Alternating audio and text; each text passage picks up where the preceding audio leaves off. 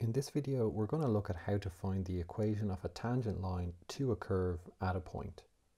So in the previous video, we looked at how to calculate the gradient of a curve at a point, and we found out that this gradient is exactly the gradient of the tangent line. So what we're looking for now is we're looking for the actual equation of the tangent line. Now, being a linear equation, we know that it has to take the form y equals mx plus c. So let's look at how we calculate this on our calculator. So up to this point in time, we've been using Scratchpad for everything. But now we're going to use documents because there's one key functionality missing in Scratchpad that we need for this analysis. So instead of hitting Scratchpad, this time we hit option number one, new document, and we add graphs option number two. So this display is very similar to the graphical display in Scratchpad. It's almost identical except we have some more functionality with it. So we're going to input our equation it's the same as in the video before, so it's x squared minus 2x minus 5. So there's the graph that we're looking to analyze and that we want to get these tangent lines on.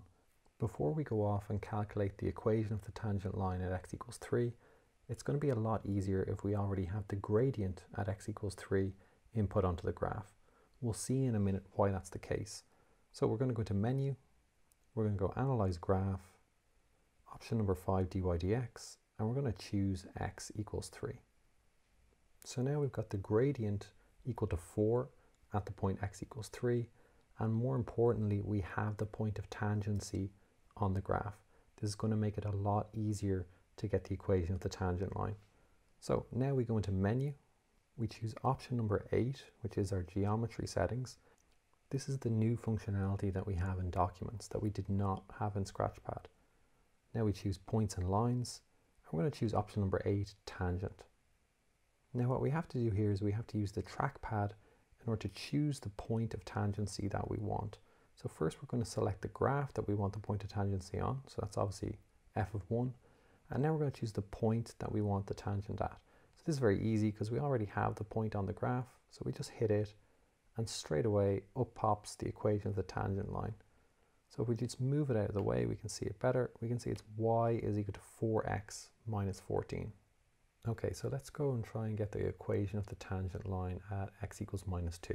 So menu, geometry, points and lines, tangent, and now I'm going to click on the graph and now I have to find the point where x equals minus 2. So we know it's approximately somewhere around here, but it's very, very difficult to get exactly where x equals minus 2 in order to get my tangent line. Okay, so what I want to do is I want to have that point already on the graph to make it easier for me to select the correct tangent line. So we're going to escape out of this and we're going to put the point on the graph first. So analyze graph, dy dx, what position do we want it at? We want it at minus 2. There we go. And now we're going to go and get the equation of the tangent line at that point. So geometry option number eight, points and lines, tangent, choose my graph, and then choose the point where I want the tangent line. Up pops my equation straight away. And again, we'll just move it out of the way so we can see it very clearly. It's y equals minus 6x minus 9. Another thing to note is we can clearly see that both of the equations of the tangent lines have the correct gradient y equals mx plus c. The m in the first case is 4 and the second case it's minus 6.